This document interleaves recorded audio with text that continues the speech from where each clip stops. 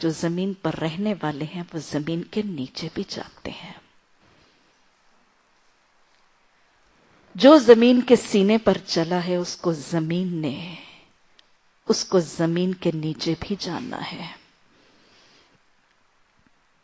जो मिट्टी है, उसको मिट्टी में रल मिल के मिट्टी भी बन जाना है।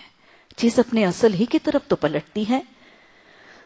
अल्लाह ने कुरान में इस हकीकत को आया किया, अल्लाह ने ज़मीन को समेटने वाली बनाया है, जिंदों के लिए और मुर्दों के लिए। और अल्लाह ये भी हकीकत बताता है कि मैं जानता हूँ जो ज़मीन में जाता है और जो ज़मीन में निकलता है। और अल्लाह कुरान में मुझे और आपको ये जानने वाला, मुझे और आपको भी ये जानने का जानने का मौका देता है कि वो फरमाता है वाला कुम फिल अर्ज़ मुस्तकर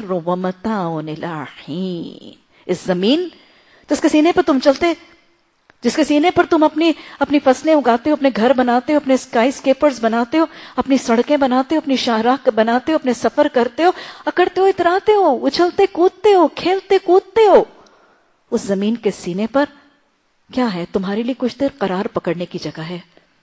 और तुम्हारे लिए वहीं पर सामान्य जीत और तुम्हारे फ़ायदे भी हैं। लेकिन थोड़ी देर के लिए करार पकड़ने की जगह है।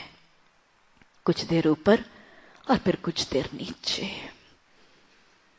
जैसा ऊपर रहोगे, वैसा ही इसके नीचे भी दिए जाओगे।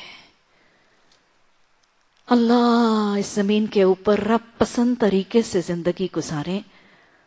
ताकि जब इसके नीचे जाएँ तो मन पसंद कबर पाए। अल्लाह